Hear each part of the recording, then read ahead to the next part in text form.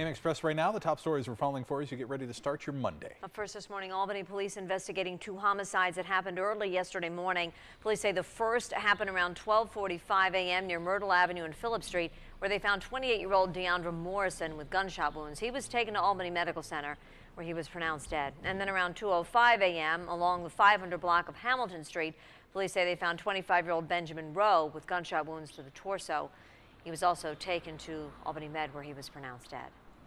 Residents of the Colonial Village Mobile Home Park in Cobleskill have been under a boil water advisory for nearly a year after E. coli was found in the water supply there last July. The Cobleskill town clerk tells News 10 that the park has the ability to access the town's clean drinking water, but he says the park's management has not yet taken those steps to make it happen.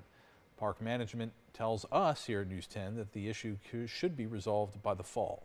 The 28-day maximum hotel stay for asylum seekers coming to an end, and New York lawmakers are seeking federal intervention as more asylum seekers arrive in New York City.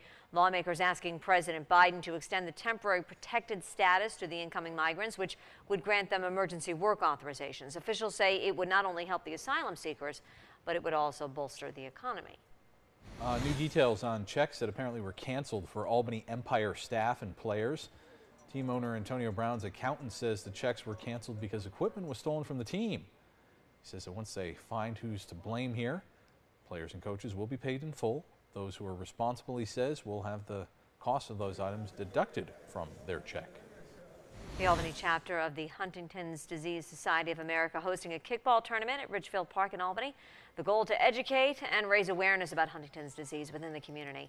The disease, which impacts about 41,000 Americans, is an inherited disorder that causes nerve cells in the brain to break down and die. Those participating in the game say they are inspired, though, to see how many have come out to support this important cause.